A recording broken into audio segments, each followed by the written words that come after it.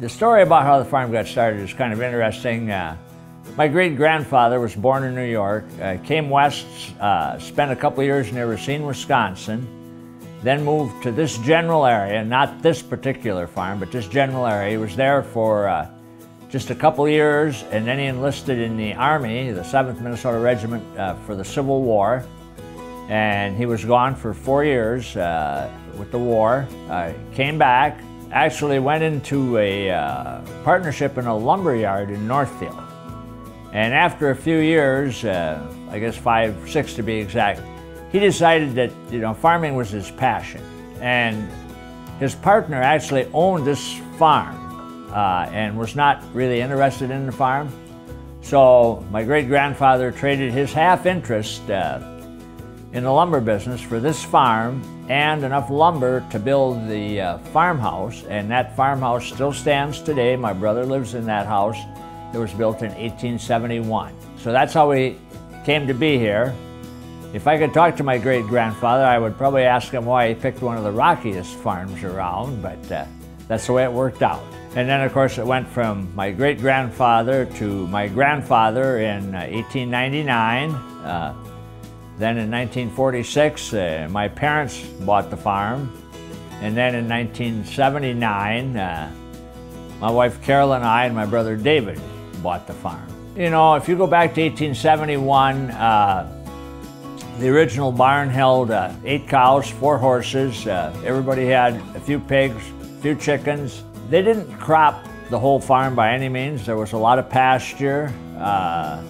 There was no such thing really as alfalfa, it was clover. Uh, and they raised a little bit of corn, uh, uh, some oats, and wheat uh, because uh, Dundas, which is only a few miles uh, south of Northfield, the Archibalds, they were kind of the original milling capital of Minnesota before Minneapolis became the big deal.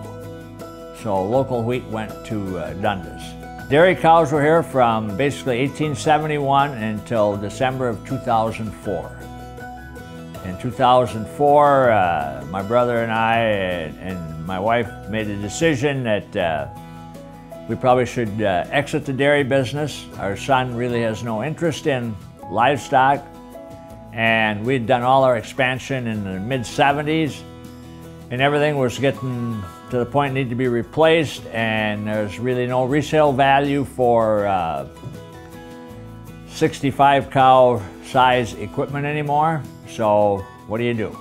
Uh, so we decided to liquidate the dairy and transition to uh, a small beef cow herd.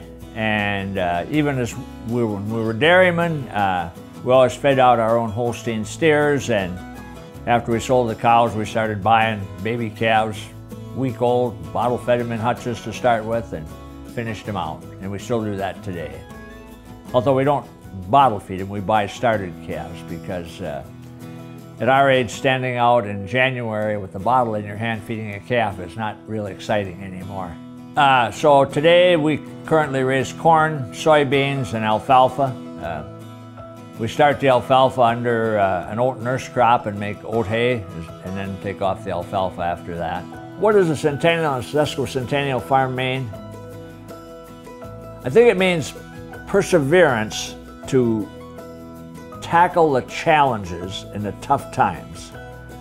Uh, you know, I guess you could say that in those tough times, maybe it's a survival mode, but then in the good times, you thrive you know, and, and, we've been able to do that, you know. Uh, my grandparents hung on to the farm during the Depression, for example. We've been through some pretty serious droughts, you know, that uh, really was tough financially, but we persevered.